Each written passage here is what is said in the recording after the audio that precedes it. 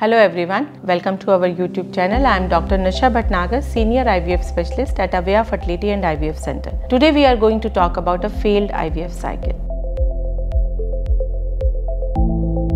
So failed IVF cycle is a very disheartening situation for the patient as well as the doctor. More so because sometimes there is no clear-cut evident reason patient don't understand what went wrong in the last cycle. But trust me, a failed IVF cycle is not a lost cycle. We understand a lot about the patient, about the couple from the last cycle.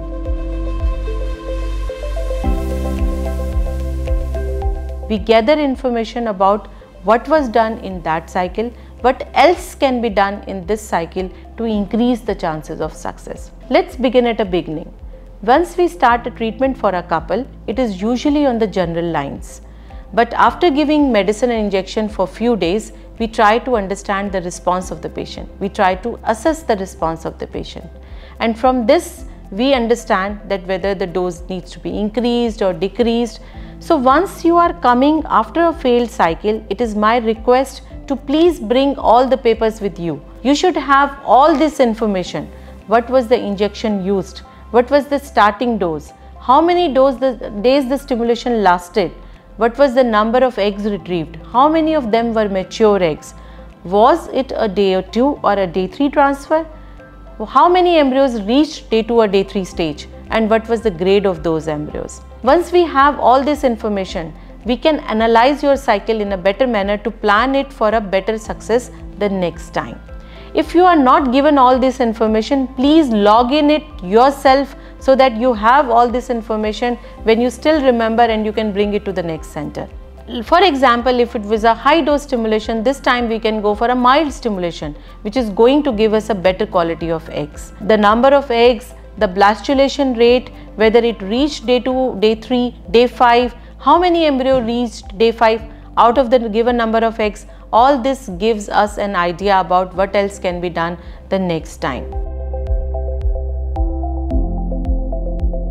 There are new issues which can become evident now because which we have no clue about previously. For example, egg quality, sperm quality, the problems associated with the uh, uterus. If the problem is egg quality, we can do things to improve the egg quality. For example, if it is because of low reserve, Things like PRP or stem cell therapy can be done to increase the quality. Patient may opt to go for a mild stimulation or for yoga, counseling, lifestyle modification, acupressure, acupuncture, all these things putting them on supplements, taking antioxidants, smoking stopping, drinking stopping and uh, having a holistic lifestyle which may improve the quality of the gametes. If the problem is associated with the poor sperm quality, again these things can be repeated for the male, specifically the smoking and drinking part which should be cut down. There are things which we can do to select a better quality sperm. There can be advanced sperm te testing. For example, DNA fragmentation index can be done to find out about the uh, percentage of sperm having a fragmented DNA. And if this percentage is high, we can use special techniques to select uh, non-fragmented uh, sperms which gives you a better chance of success.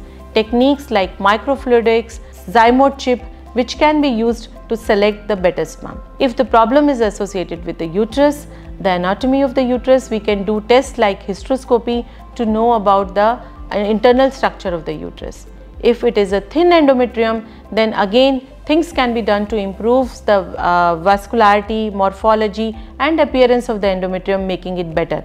For example, stem cell therapy and PRP to increase the thickness and vascularity of the endometrium. There are other techniques. If we see that the embryo is very good, the lining is very good, still the implantation is not happening, then the patient may opt for PGS or PGT which can give you a genetically normal or euploid embryo which we can transfer in this cycle. Specifically in cases of recurrent implantation failure or repeat pregnancy loss, this test has a huge importance. In some cases, if the patient is still not getting result, they may need to opt for donor egg or donor sperm to increase their chances of success. If the problem is associated with the endometrium, the surrogacy might be the answer. If you want to know more about any of these options or if you have any questions related to any of these, please feel free to contact us at the given numbers or you can chat with us at the given numbers. Thank you so much.